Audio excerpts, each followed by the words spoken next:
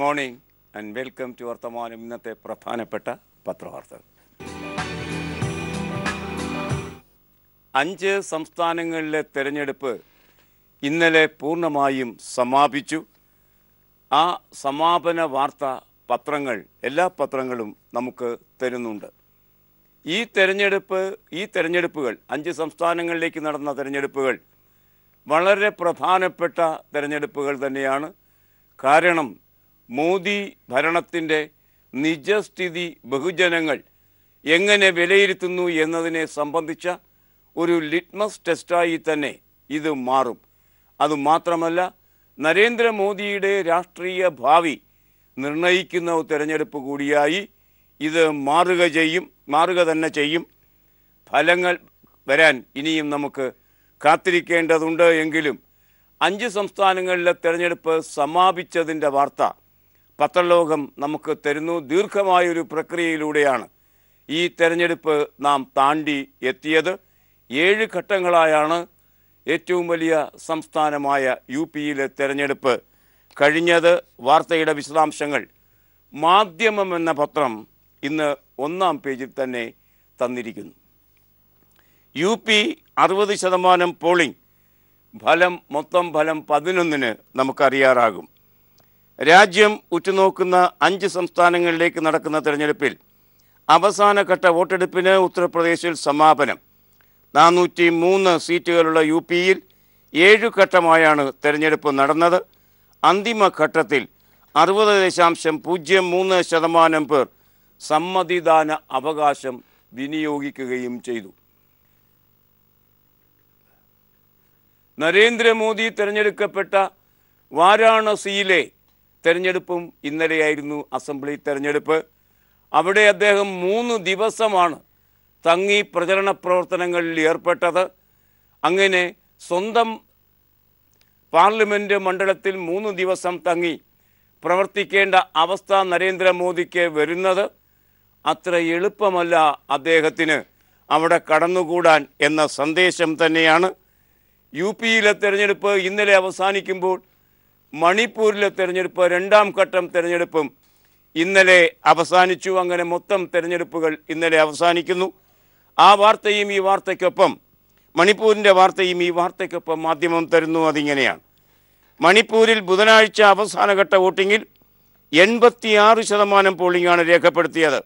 ഇരുപത്തിരണ്ട് assembly assembly സീറ്റുകളിലേക്കായിരുന്നു വോട്ടെടുപ്പ്. എൺപത്തിയാറ് ശതമാനം എന്ന് പറഞ്ഞാൽ വളരെ ഉയർന്ന ഒരു ശതമാന നിരക്ക് തന്നെയാണ് മണിപ്പൂർ എപ്പോഴും. അങ്ങനെയാണ് അതിന്റെ ശതമാന നിരക്ക് നിലനിർത്തിയിട്ടുള്ളത്. അവിടെ എൺപത്തിയഞ്ച് ശതമാനം വോട്ടെടുപ്പ് നടന്നു എന്നാണ് ഈ വാർത്ത നമ്മോട് പറയുന്നത്. കേരളം ഭരിക്കുന്നത് തിരഞ്ഞെടുക്കപ്പെട്ട മന്ത്രിസഭയാണോ അതോ വിജിലൻസ് ആണോ എന്ന് ഹൈ ഒരു ഘട്ടത്തിൽ ഒരു ചോദ്യം ഉന്നയിച്ചിരുന്നു. ഹൈക്കോടതിയുടെ ഒരു കമന്റ് നിലയ്ക്കാണ് ആ ചോദ്യം വന്നത് എങ്കിലും വിജിലൻസിന്റെ വിവിധ രംഗങ്ങളിലുള്ള ലക്കും ലഗാനുമില്ലാത്ത ഇടപെടലുകൾ അത്തരമൊരു ചോദ്യം ഉന്നയിപ്പിക്കാൻ ഹൈക്കോടതിയെയും പ്രേരിപ്പിച്ചിട്ടുണ്ടാകും. പ്രാഥമിക പരിശോധനയില്ലാതെ വിജിലൻസ് എല്ലാ കേസുകളും ഏറ്റെടുക്കുന്ന ഒരു രീതി എത്രത്തോളം ആശാസ്യമാണ് എന്ന സന്ദേഹമാണ് ഈ ചോദ്യത്തിലൂടെ ഹൈക്കോടതി ഉന്നയിച്ചത്. അതുകൊണ്ട് തന്നെ ഇന്നലെ വിജിലൻസിലെ ഉദ്യോഗസ്ഥരുമായി മുഖ്യമന്ത്രി ചർച്ച നടത്തി ചില കാര്യങ്ങൾ തീരുമാനിക്കുകയുണ്ടായി. അതുവഴി വിജിലൻസിന്റെ പ്രവർത്തനത്തിന് ഒരു മെച്ചപ്പെട്ട നിയന്ത്രണ സംവിധാനം വരുന്നു. ആ വാർത്ത മാതൃഭൂമി റിപ്പോർട്ട് ചെയ്യുന്നത് വിജിലൻസിന് മുഖ്യമന്ത്രി പിണറായി വിജയൻ മൂക്കുകയറിട്ടു എന്ന ശീർഷകത്തിലാണ്. വിജിലൻസിന്റെ പ്രവർത്തനത്തിന് മൂക്കുകയർ എന്ന നിലയ്ക്കാണ് ആ വാർത്ത മാതൃഭൂമി ഇന്ന് ലീഡ് വാർത്തയാക്കിയിരിക്കുന്നത്. കാണുക. ലഭിക്കുന്ന പരാതികളിലെല്ലാം കേസെടുക്കേണ്ട എന്ന് മുഖ്യമന്ത്രി. പരാതികൾ വകുപ്പുകളുടെ പരിശോധനയ്ക്ക് അയക്കണം. ഒരു പ്രാഥമിക അന്വേഷണത്തിന് മാത്രം ശേഷം മാത്രം കേസെടുക്കണമോ എന്ന് തീരുമാനിക്കണം. അതിനുശേഷം മതി ത്വരിതാന്വേഷണ ഘട്ടം എന്നാണ് മുഖ്യമന്ത്രി പറഞ്ഞിരിക്കുന്നത്. വാർത്തയുടെ വിശദാംശങ്ങൾ ഇപ്രകാരമാണ്. വിജിലൻസിന്റെ പ്രവർത്തനത്തിൽ സർക്കാരിന്റെ നിയന്ത്രണം വരുന്നു. ലഭിക്കുന്ന പരാതികളിലെല്ലാം കേസെടുക്കരുത് എന്ന് വിജിലൻസിന് മുഖ്യമന്ത്രി പിണറായി വിജയൻ നിർദ്ദേശം നൽകി. നിലവിലുള്ള ചട്ടങ്ങൾക്കും കോടതി വിധികൾക്കും അനുസരിച്ച് കേസെടുക്കാം. വിജിലൻസിന് ലഭിക്കുന്ന പരാതികൾ ബന്ധപ്പെട്ട വകുപ്പുകളിൽ പരിശോധനയ്ക്ക് അയക്കണമെന്നും മുഖ്യമന്ത്രിയുടെ ചേംബറിൽ നടന്ന വിജിലൻസ് ഉദ്യോഗസ്ഥരുടെ ഉന്നതതല യോഗത്തിൽ മുഖ്യമന്ത്രി വ്യക്തമാക്കി എന്നാണ് ഈ വാർത്ത നമ്മോട് പറയുന്നത്. കള്ളപ്പരാതികൾ തിരിച്ചറിയാൻ കഴിയുന്നില്ലെങ്കിൽ എന്തിനാണ് ഈ വിജിലൻസ്? എന്നുകൂടി കോടതി ചോദിച്ചിരുന്നു. കള്ളപ്പരാതികൾ എന്ത്? ശരിയായ പരാതികൾ എന്ത് എന്ന് തിരിച്ചറിഞ്ഞതിന് ശേഷം വേണം പരാതികൾ എന്റർടൈൻ ചെയ്യാൻ എന്ന കോടതിയുടെ ആ നിലപാടിനോട് യോജിപ്പ് പ്രകടിപ്പിച്ചുകൊണ്ട് ആണ് ഇന്നലത്തെ യോഗത്തിൽ തീരുമാനങ്ങൾ ഉണ്ടായത്. ആ വാർത്തയും മാതൃഭൂമി പ്രധാന വാർത്തയ്ക്കൊപ്പം തരുന്നു. അതിങ്ങനെയാണ്. കള്ളപ്പരാതികൾ തിരിച്ചറിയാൻ കഴിയുന്നില്ലെങ്കിൽ വിജിലൻസ് എന്തിനാണെന്ന് ഹൈക്കോടതി ശങ്കർ റെഡ്ഡിക്ക് ഡി ജി പി ആയി സ്ഥാനക്കയറ്റം നൽകിയത് സംബന്ധിച്ച പരാതിയിൽ പ്രാഥമിക അന്വേഷണം പ്രഖ്യാപിച്ച വിജിലൻസ് നടപടിക്കെതിരെ രമേശ് ചെന്നിത്തല സമർപ്പിച്ച ഹർജിയിലാണ് ഹൈക്കോടതിയുടെ പരാമർശം. ശങ്കർ റെഡ്ഡിക്ക് സ്ഥാനക്കയറ്റം നൽകിയത് അഴിമതി നിരോധന നിയമത്തിന്റെ പരിധിയിൽ വരില്ല എന്ന് സർക്കാർ ഹൈക്കോടതിയെ അറിയിച്ചു. ഇത് പരിഗണിച്ച് കോടതി വിജിലൻസ് കേസിലെ തുടർ നടപടി ഇനി ഒരു ഉത്തരവുണ്ടാകുന്നതുവരെ സ്റ്റേ ചെയ്യുകയും ചെയ്തു. അഴിമതി കേസിന്റെ പരിധിയിൽ ആ രാഷ്ട്രീയ പ്രേരിത നിയമനങ്ങൾ വരില്ല എന്ന് സർക്കാർ അറിയിച്ചതിന്റെ ഭാഗമായി കേസിന്റെ മുന്നോട്ടുള്ള നടപടികൾ ഹൈക്കോടതി സ്റ്റേ ചെയ്യുകയും ചെയ്തു എന്നാണ് വാർത്ത നമ്മെ തേടിയെത്തുന്നത്. രണ്ടായിരത്തി പതിനാറ് നവംബർ എട്ടാം തീയതിയാണ് കുപ്രസിദ്ധമായ നോട്ട് നിരോധനം സംഭവിച്ചത് എന്ന് നമുക്കറിയാം. അതിനുശേഷം ധാരാളം സംഭവഗതികളിലൂടെ നാം കടന്നു പോവുകയുണ്ടായി. ഇന്ന് മാർച്ച് ഒമ്പതാണ്. അതായത് അഞ്ച് മാസം നാലു മാസം തികയുന്ന അവസ്ഥയാണ് അതിനുള്ളത്. ഈ നാലു മാസങ്ങൾ കൊണ്ട് എന്തൊക്കെ സംഭവഗതികളാണ് നടന്നത്? ഇപ്പോൾ തിരിഞ്ഞു നോക്കുമ്പോൾ ഈ നാലു മാസങ്ങൾ കൊണ്ട് അന്നെടുത്ത നടപടിക്ക് വല്ല കൈയും കണക്കും സർക്കാരിന്റെ കയ്യിലോ? എന്തിന്? അതിന്റെ പ്രഥമ പ്രണേതാവായിരുന്ന പ്രധാനമന്ത്രിയുടെ കയ്യിലോ ഉണ്ടോ? അതേ സംബന്ധിച്ച ഒരു പുനശ്ചിന്തനം ഇന്ത്യ ലോകം പേജിൽ ഇന്ന് ദേശാഭിമാനി നടത്തുന്നു. കാണുക നോട്ട് അസാധുവാക്കലിന് നാലു മാസം. കണക്കുകളില്ലാതെ ആർ ബി ഐ നാലു മാസം പിന്നു പിന്നിടുന്നു. മാർച്ച് പതിമൂന്നാം തീയതി ഇത് പൂർണമായും പിൻവലിക്കും എന്നാണ് പ്രധാനമന്ത്രി പറഞ്ഞിട്ടുള്ളത്. പ്രധാനമന്ത്രി പറഞ്ഞത് അൻപത് ദിവസങ്ങൾ കൊണ്ട് ഈ കാര്യങ്ങൾ പൂർവസ്ഥിതിയെ പ്രാപിപ്പിക്കാൻ തനിക്ക് കഴിയുന്നില്ലെങ്കിൽ തന്നെ കത്തിച്ചു കളഞ്ഞോളുക എന്ന് ജനങ്ങളോട് പറഞ്ഞ പ്രധാനമന്ത്രിയാണ് മാർച്ച് പതിമൂന്നിന് ഇത് പൂർണമായും പിൻവലിക്കുമെന്ന് പറയുന്നത്. അൻപത് ദിവസങ്ങൾക്ക് ശേഷം ഒന്നും സംഭവിച്ചിട്ടില്ലാത്തത് കൊണ്ട് പ്രധാനമന്ത്രിയുടെ വാക്കുകൾ അത്രമാത്രം വിശ്വാസത്തിൽ ജനങ്ങൾ എടുക്കും എന്ന് കരുതാനാവില്ല. എങ്കിലും പ്രധാനമന്ത്രിയല്ലേ വിശ്വസിക്കാൻ മാത്രമേ നമുക്ക് കഴിയുകയുള്ളൂ. അതുകൊണ്ട് നാലു മാസം പിന്നിടുമ്പോൾ അതിന്റെ ഒരു ബാക്കിപത്രം തരുന്നു. ദേശാഭിമാനിയുടെ ഇന്ത്യ ലോകം പേജിലെ വാർത്ത അതിങ്ങനെയാണ്. നോട്ട് അസാധുവാക്കലിന് നാലു മാസം. കണക്കുകളില്ലാതെ R B I. M Prashanth ദില്ലിയിൽ നിന്ന് ആ വാർത്ത തരുന്നത് ഇങ്ങനെ.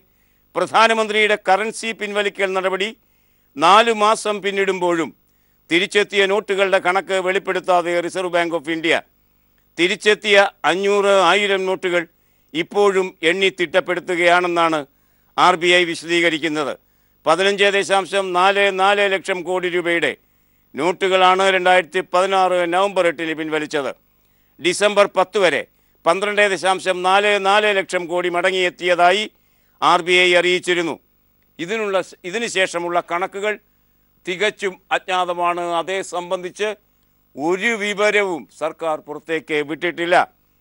തിരിച്ചെത്തിയ അഞ്ഞൂറ് നൂറ് അഞ്ഞൂറ് ആയിരം നോട്ടുകൾ ഇപ്പോഴും എണ്ണിത്തിട്ടപ്പെടുത്തുകയാണ് എന്ന അപഹാസ്യമായ വിശദീകരണമാണ് തരുന്നത്. നാലു മാസങ്ങൾക്ക് ശേഷവും അത് എണ്ണിത്തിട്ടപ്പെടുത്താൻ കഴിയാത്ത വണ്ണം ഏത് നിലവാരത്തിലുള്ള ഒരവസ്ഥയാണ് റിസർവ് ബാങ്കിനുള്ളത് എന്ന് പറയാതിരിക്കുന്നതാണ് ഭേദം. അപ്പോൾ എണ്ണിത്തിട്ടപ്പെടുത്താത്തതല്ല മറിച്ച് പ്രതീക്ഷിച്ച മാതിരിയല്ല കാര്യങ്ങൾ നീങ്ങിയത്. ഏകദേശം പൂർണമായും നോട്ടുകൾ തിരിച്ചെത്തിയ സ്ഥിതിക്ക് കള്ളപ്പണവും കള്ളനോട്ടും എവിടെ എന്ന ചോദ്യം പ്രധാനമന്ത്രിക്ക് നേരെ ഉന്നയിക്കപ്പെടും. അത് പ്രധാനമന്ത്രിക്ക് മന്ത്രിക്ക് ഹിതകരമായ ഒരു കാര്യമായിരിക്കില്ല. അതുകൊണ്ട് തന്റെ നിലപാട് നഷ്ടപ്പെട്ട പ്രധാനമന്ത്രി തന്റെ മുഖം നഷ്ടപ്പെട്ട പ്രധാനമന്ത്രി അത് ജനങ്ങളിൽ നിന്ന് മറച്ചു പിടിക്കാൻ മാത്രമാണ് ഈ കാലവിളംബത്തിന് ശേഷവും കണക്കുകളൊന്നുമായിട്ടില്ല എന്ന് ആർ ബി ഐയുടെ കണക്കപ്പിള്ളമാർ പറഞ്ഞുകൊണ്ടിരിക്കുന്നത്. അങ്ങനെ നരേന്ദ്രമോദിയുടെ ആ പരാജയത്തിന്റെ ഓർമ്മ കുറിപ്പ് കൂടി ആയിത്തീരുന്നു ദേശാഭിമാനിയുടെ ഈ ഓർമ്മപ്പെടുത്തൽ.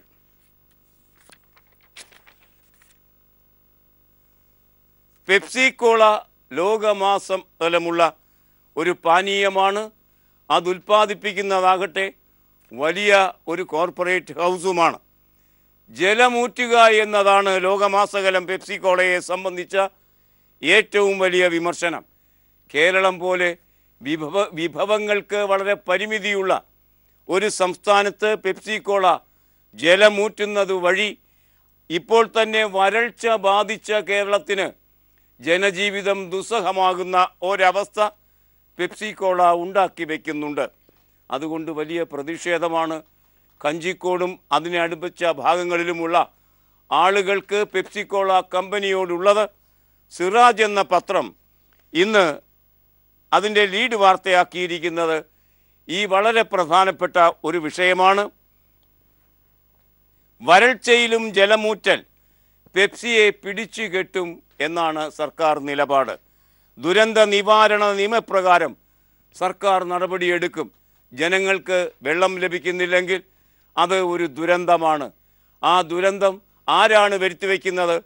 പെപ്സിക്കോള കമ്പനിയാണെങ്കിൽ ദുരന്ത നിവാരണ നിയമപ്രകാരം അതിനെതിരെ കേസെടുക്കാൻ മുന്നോട്ട് വരുന്നു സർക്കാർ നടപടി. ആരംഭിച്ചു കഴിഞ്ഞിരിക്കുന്നു വാർത്ത സിറാജ് തരുന്നത്. ഇപ്രകാരമാണ് അതിന്റെ വിവിധ വശങ്ങൾ സിറാജ് അതിന്റെ ലീഡ് വാർത്തയിൽ മൊത്തത്തിൽ തന്നെ നമുക്ക് തരുന്നുണ്ട്. എന്താണ് അതേ സംബന്ധിച്ച് സർക്കാരിന്റെ നിലപാട്? എന്താണ് പെപ്സിക്കോളയുടെ വിൽപ്പനയുമായി ബന്ധിപ്പിച്ച് കച്ചവടക്കാർ എടുത്തിരിക്കുന്ന നിലപാട്? പെപ്സി കമ്പനി അതിനെ എങ്ങനെയാണ് നോക്കിക്കാണുന്നത്? നമ്മുടെ മുഖ്യമന്ത്രി അതിനോടെടുത്തിരിക്കുന്ന സമീപനമെന്ത് ഇതെല്ലാം ചേർത്ത് സമഗ്രമായ ലീഡ് വാർത്ത സിറാജ് തരുന്നു. ആ വാർത്തയിലേക്ക് നമുക്ക് സഞ്ചരിക്കാം. ഒരു ചെറിയ പരസ്യ ഇടവേളയ്ക്ക് ശേഷം. ആ വാർത്ത സിറാജ് തരുന്നത് കാണുക.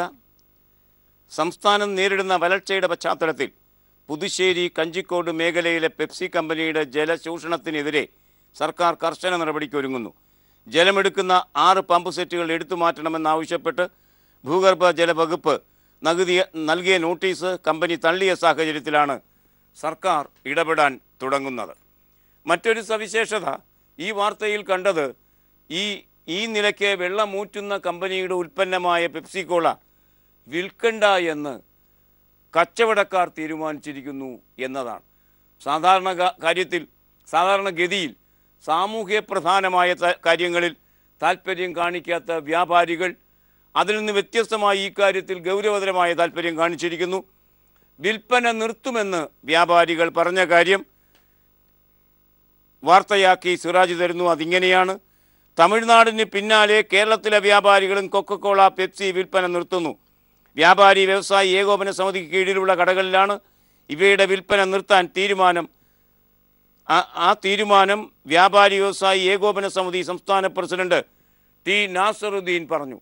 ഇന്ന് ചൊവ്വാ ക്ഷമിക്കുക ചൊവ്വാഴ്ച മുഖ്യമന്ത്രിയുമായി ചർച്ചയുണ്ട്. ആ ചർച്ചയ്ക്ക് ശേഷമാണ് ഇപ്രകാരം ഒരു തീരുമാനം വ്യാപാരി വ്യവസായികൾ എടുക്കുക എന്ന് നാസറുദ്ദീൻ പറയുമ്പോൾ അതിലൊരു വിഭാഗം ആളുകൾ ഞങ്ങൾ ഈ ഈ തീരുമാനത്തിന്റെ കൂടെ ഇല്ല എന്ന നിലയ്ക്കും നിലപാടെടുത്തിട്ടുണ്ട്. ഏത്- ഏതായാലും ഒരു വിഭാഗം കച്ചവടക്കാരെങ്കിലും സാമൂഹ്യ ബോധം ഉയർത്തിപ്പിടിച്ചുകൊണ്ട് രംഗത്ത് വന്നിട്ടുണ്ട് എന്നത് ഒരു നല്ല കാര്യമാണ്. തമിഴ്നാട്ടിലെ കച്ചവടക്കാർ അത് നേരത്തെ എടുത്ത തീരുമാനവുമാണ്. വ്യാപാരികൾക്ക് പിന്തുണയുമായി മുഖ്യമന്ത്രിയും രംഗത്ത് വന്നു. അതും സിറാജ് വാർത്തയാക്കിയിട്ടുണ്ട്. ഏതായാലും പെപ്സിക്കോള ഇതേ സംബന്ധിച്ചെടുത്തിരിക്കുന്ന നിലപാട് കാണുക. ഹൈക്കോടതി നിർദ്ദേശപ്രകാരം ഒരു ദിവസം ആറ് ലക്ഷം ലിറ്റർ ജലം മാത്രമേ തങ്ങളുടെ പാലക്കാട്ടെ പ്ലാന്റ് ഉപയോഗിക്കുന്നുള്ളൂ എന്ന് പെപ്സിക്കോള കമ്പനി വാർത്താക്കുറിപ്പിൽ അറിയിച്ചു എന്നുകൂടി ഈ വാർത്ത നമ്മോട് പറയുന്നു. അങ്ങനെ ഈ പ്രമേയവുമായി ബന്ധിപ്പിച്ച് വിവിധ വിഭാഗങ്ങൾ എടുത്തിരിക്കുന്ന നിലപാട് ഒരൊറ്റ വാർത്താ പ്രമേയമാക്കി സിറാജ് ഇന്ന് ഒന്നാം പേജിൽ തന്നിരിക്കുന്നു. ഇന്നലെ ലോക വനിതാ ദിനവുമായി ബന്ധിപ്പിച്ച് വാർത്തകളാണ് പത്രലോകം നമുക്ക് തന്നത്.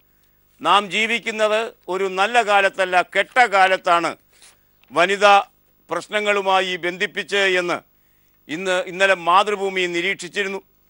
അതിന്റെ ലീഡ് വാർത്തയിലൂടെ മലയാള മനോരമ ഇന്ന് ലീഡ് വാർത്ത തരുന്നത് പെൺകുട്ടികളുടെ മേൽ അല്ലെങ്കിൽ പെൺകുട്ടികളും ആൺകുട്ടികളും ഒന്നിച്ചിരുന്ന് സരസമായി സംസാരിക്കുന്ന ഒരവസ്ഥ വന്നാൽ അതുകണ്ട് ഹാലിളകുന്ന സദാചാര മോഹികൾ. അത്തരം ആളുകളുണ്ട്. അവരുടെ അഴിഞ്ഞാട്ടം ഇന്നലെ കൊച്ചി മറൈൻ ഡ്രൈവിൽ നടന്നു. Marine drive അറിയുന്നവർക്കറിയാം. സ്വസ്ഥമായിരുന്ന് സംസാരിക്കാൻ കഴിയുന്ന ഒരു ടോപ്പോഗ്രാഫിക്കൽ സൗകര്യം ആ പ്രദേശത്തിനുണ്ട്. അവിടെ ചെറുപ്പക്കാരും ചെറുപ്പക്കാരികളും വന്നിരിക്കുക സ്വാഭാവികമാണ്. എന്നാൽ ശിവസേനയ്ക്ക് അത് സഹിച്ചില്ല. കേരളത്തിലെ ശിവസേനയ്ക്ക്. അവർ അതിനെതിരെ ചൂരലുമായി രംഗത്ത് വന്നു. സ്കൂൾ കുട്ടികളെ ചൂരൽ കൊണ്ട് അടിക്കുന്നത് പോലും നിർത്തിവച്ചിരിക്കുന്ന കാലഘട്ടത്തിൽ കുട്ടികൾക്ക് അടി അടിക്കപ്പെടാതിരിക്കാനുള്ള സ്വാതന്ത്ര്യമുണ്ട് എന്ന നിലയ്ക്ക് അവരുടെ പൗരാവകാശം ഉയർത്തിപ്പിടിക്കുന്ന ഈ കാലഘട്ടത്തിലാണ് ഈ ഗുണ്ടകൾ കാടത്തം നിറഞ്ഞ പ്രവർത്തിക്ക് തയ്യാറായത്. ഒന്ന് സങ്കല്പിച്ചു നോക്കൂ ചൂരലുമായി രംഗത്ത് വരികയാണ്. അജാനുബാഹുക്കളായ ആളുകൾ വളരെ കുറച്ചേ ഉള്ളൂ. ശിവസേന തന്നെ പേരിനേ ഉള്ളൂ ഇവിടെ. അവരാണ് ഈ കാടത്തം കാണിച്ചത്. അതുകൊണ്ട് തന്നെ മലയാള മനോരമ അതിന്റെ വാർത്തയ്ക്ക് നൽകിയിരിക്കുന്ന ശീർഷകം കാടത്തം എന്നാണ്. ശിവസേന എന്നൊന്നും എഴുതണ്ട കാടത്തം എന്നാണ് എഴുതിയിരിക്കുന്നത്. ആറ് ശിവസേന പ്രവർത്തകർ അറസ്റ്റിൽ. രാജ്യാന്തര വനിതാ ദിനത്തിൽ പെൺകുട്ടികൾ ഉൾപ്പെടെയുള്ളവർക്ക് നേരെ കൊച്ചി മറൈൻ ഡ്രൈവ് നടപ്പാതയിൽ ശിവസേന പ്രവർത്തകരുടെ സദാചാര ഗുണ്ടായുസം. പ്രകടനമായി എത്തിയ പ്രവർത്തകർ ചൂരലിനടിച്ച് അടിച്ചും കേട്ടാലറയ്ക്കുന്ന വാക്കുകൾ പ്രയോഗിച്ചും യുവതി യുവാക്കളെ വിരട്ടി ഓടിച്ചു. എസ് ഐ ഉൾപ്പെടെയുള്ള പോലീസുകാർ നോക്കി നിൽക്കുമ്പോഴാണ് ശിവസേനയുടെ അക്രമം സംഭവവുമായി ബന്ധപ്പെട്ട് ആറ് ശിവസേന പ്രവർത്തകരെ പിന്നീട് പോലീസ് അറസ്റ്റ് ചെയ്തു. ആറ് പ്രവർത്തകർ എന്ന് പറയേണ്ട ആറ് ഗുണ്ടകളെ അറസ്റ്റ് ചെയ്തു എന്ന് പറഞ്ഞാൽ മതി. ഈ സംഭവം ഇന്നലെ ദൃശ്യമാധ്യമങ്ങൾ വിശദമായി കാണിച്ചിരുന്നുവെന്ന് നമുക്കറിയാം. അങ്ങനെ കാണിക്കുമ്പോൾ മറൈൻ ഡ്രൈവിൽ അഞ്ചോ ആറോ പോലീസുകാർ നിർനിമേഷരായി ഇതിന് സാക്ഷികളായി നിൽക്കുന്നതും നാം കണ്ടു. എന്തിനാണ് ഇവർക്കൊക്കെ നിയമപരമായ അംഗീകാരം നൽകിയിരിക്കുന്നത് എന്ന് നാം അത്ഭുതം കൂറിയെങ്കിൽ പോലീസുകാരുടെ ആ നിർ നിർവീകാര സാന്നിധ്യത്തിനെതിരെ നടപടി വന്നിരിക്കുന്നു. അതും മനോരമ നമുക്ക് വാർത്തയാക്കി തന്നിരിക്കുന്നു. എസ് ഐക്ക് സസ്പെൻഷൻ വിശദമായി അന്വേഷിക്കും. മറൈൻ ഡ്രൈവിൽ യുവതി യുവാക്കൾക്ക് നേരെ ശിവസേനയുടെ അക്രമം. തടയുന്നതിൽ പരാജയപ്പെട്ടെന്ന റിപ്പോർട്ടിനെ തുടർന്ന് സെൻട്രൽ എസ് ഐ എസ് വിജയശങ്കറിനെ സസ്പെൻഡ് ചെയ്തു. ഇനി സ്വസ്ഥമായി ആ മഹാന് വീട്ടിലിരിക്കാം അഥവാ ഗുണ്ടകളോടൊത്ത് സല്ലപിക്കുകയും ചെയ്യാം. അതാണ് ആദ്യ വാർത്ത സ്ത്രീ പുരുഷ ബന്ധവുമായി ബന്ധിപ്പിച്ചും സ്ത്രീകളുടെ പ്രശ്നവുമായി ബന്ധിപ്പിച്ചും നമുക്ക് പത്രലോകം ഇന്ന് തരുന്നത്. രണ്ടാമത്തെ വാർത്ത ദേശാഭിമാനി ലീഡ് വാർത്തയാക്കിയിരിക്കുന്നു. മുസ്ലിം സ്ത്രീകളുടെ ശിരോവസ്ത്രം മോദിക്ക് ഹറാമായി. മോദി അതുകൊണ്ട് തന്നെ ശിരോവസ്ത്രം ധരിച്ച് അദ്ദേഹത്തിന്റെ മീറ്റിങ്ങിൽ വന്ന ആളുകളെ പുറത്തേക്ക് ഇറക്കി വിടാൻ പ്രേരിപ്പിക്കപ്പെടുന്നു. ആ വാർത്ത ദേശാഭിമാനി ഇന്ന് ലീഡ് വാർത്തയാക്കിയിരിക്കുന്നു. മോദിക്ക് വേണ്ടി ശിരോവസ്ത്രം അഴിപ്പിച്ചു എന്ന ശീർഷകത്തിലാണ് ദേശീയ വനിതാ ദിന പരിപാടിയിൽ പഞ്ചായത്ത് അധ്യക്ഷന്മാരെ അപമാനിച്ച വാർത്ത ദേശാഭിമാനി തരുന്നത്. നമുക്ക് ആ വാർത്തയുടെ വിശദാംശങ്ങളിലേക്ക് പോകാം. ഒരു ചെറിയ പരസ്യ ഇടവേളയ്ക്ക് ശേഷം. വാർത്ത ഇപ്രകാരമാണ് ദേശാഭിമാനി തരുന്നത്. ലോക വനിതാ ദിനത്തോടനുബന്ധിച്ച് പ്രധാനമന്ത്രി നരേന്ദ്രമോദി പങ്കെടുത്ത ദേശീയ സമ്മേളനത്തിൽ കേരളത്തിൽ നിന്നുള്ള മൂന്ന് മുസ്ലിം വനിത പഞ്ചായത്ത് അധ്യക്ഷന്മാരുടെ ശിരോവസ്ത്രം അഴിപ്പിച്ചു. ശിരോവസ്ത്രം ധരിച്ചതിന്റെ പേരിൽ മൂന്ന് പ്രതിനിധികളെ പരസ്യമായി അപമാനിച്ചതിനെതിരെ കേരളത്തിൽ നിന്നുള്ള വനിതകൾ ഒറ്റക്കെട്ടായി പ്രതിഷേധിച്ചെങ്കിലും സംഘാടകർക്ക് കുലുക്കമൊന്നും ഉണ്ടായില്ല എന്നാണ് ഈ വാർത്ത നമ്മോട് പറയുന്നത്. പീഡനപർവത്തിലെ വാർത്തകൾക്ക് ഇന്നും തുടർച്ചയുണ്ട്. പള്ളിമേടയിൽ വീണ്ടും പീഡനം നടന്ന കാര്യമാണ് കേരള കൗമുദി റിപ്പോർട്ട് ചെയ്യുന്നത്. ഫാദർ റൂബിനുമായി ബന്ധിപ്പിച്ച വാർത്ത റോബിനുമായി ബന്ധിപ്പിച്ച വാർത്ത സജീവമായി നിൽക്കുമ്പോഴാണ് പള്ളിമേടയിൽ നടന്ന ഒരു പഴയ പീഡന വാർത്ത രംഗത്ത് വരുന്നത്. പള്ളിമേടയിൽ വീണ്ടും പീഡനം. മാനന്തവാടി രൂപത കോർഡിനേറ്റർ അറസ്റ്റിൽ പ്രദീപ് മാനന്തവാടി ആ വാർത്ത ഇങ്ങനെ തരുന്നു. എസ് എസ് എൽ സി പരീക്ഷയ്ക്ക് മുഴുവൻ വിഷയങ്ങളിലും എ പ്ലസ് നേടിയ പതിനേഴ് വയസ്സുള്ള പ്ലസ് ടു വിദ്യാർത്ഥിനിയെ വിവാഹ വാഗ്ദാനം നൽകി പീഡിപ്പിച്ച് ഗർഭിണിയാക്കിയ കേസിൽ മാനന്തവാടി രൂപത K C Y M Y M coordinator Cherukattoor Mathisseri Thaiparambil Sijo ജോർജിനെ പോലീസ് കസ്റ്റഡിയിലെടുത്തു. ഇരുപത്തിമൂന്ന് വയസ്സാണ് അയാൾക്ക്. ഡിസംബർ ഇരുപത്തിയെട്ടിന് പെൺകുട്ടി ഒരു കുഞ്ഞിന് ജന്മം നൽകി. കുഞ്ഞിനെ Kozhikode C W C W C നിർദ്ദേശപ്രകാരം കോഴിക്കോട് പള്ളി കോൺവെന്റിലെ ശിശുമന്ദിരത്തിൽ താമസിപ്പിച്ചിരിക്കുകയാണ്. കൊട്ടിയൂർ വൈദിക പീഡനത്തിന് തൊട്ടുപിറകെ സഭയെ പിടിച്ചു കുലുക്കുന്ന മറ്റൊരു വിവാദമായി ഇത് മാറുകയും ചെയ്തിരിക്കുന്നു എന്നാണ് ഈ വാർത്ത പറയുന്നത്. കേരളത്തിൽ കെ ടി തോമസ് ചെയർമാനായി നിയമപരിഷ്കാര കമ്മീഷൻ വരുന്നു. ഭരണപരിഷ്കാര കമ്മീഷന് ശേഷം ഒരു നിയമപരിഷ്കാര കമ്മീഷൻ വരുന്നു. ആ വാർത്ത മംഗളം ഒന്നാം പേജിൽ തന്നിരിക്കുന്നു.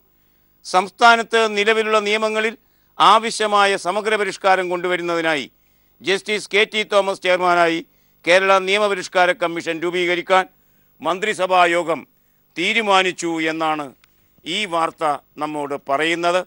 ഇനി ഇന്നത്തെ മുഖപ്രസംഗം.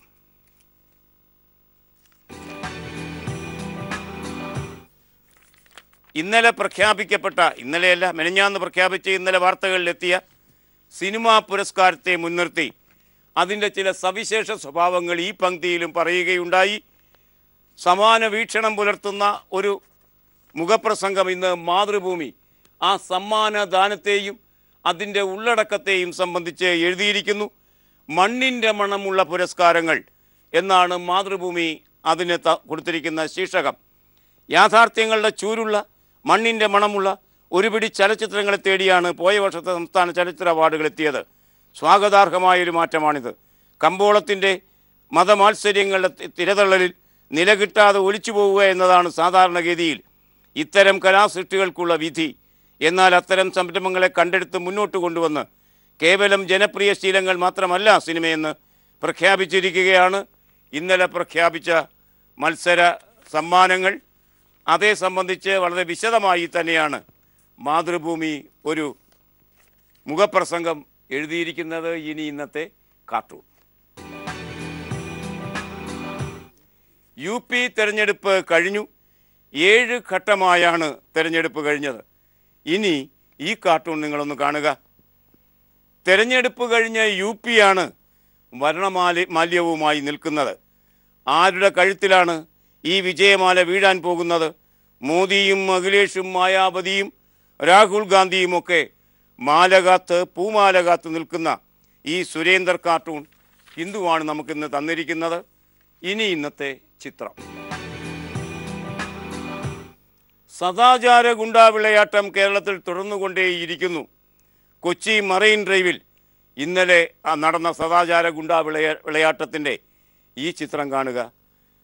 മറൈൻ ഡ്രൈവിൽ വനിതാ ദിനത്തിലെത്തിയ പെൺകുട്ടികളെ ചുരുൾ പ്രയോഗത്തിലൂടെ ആട്ടിപ്പായിക്കുന്ന ശിവസേന ഗുണ്ടകളും ആ കാഴ്ച കണ്ട് രസിച്ചു നിൽക്കുന്ന പോലീസും ഈ ചിത്രം ദീപിക ഒന്നാം പുറത്ത് തന്നിരിക്കുന്നു.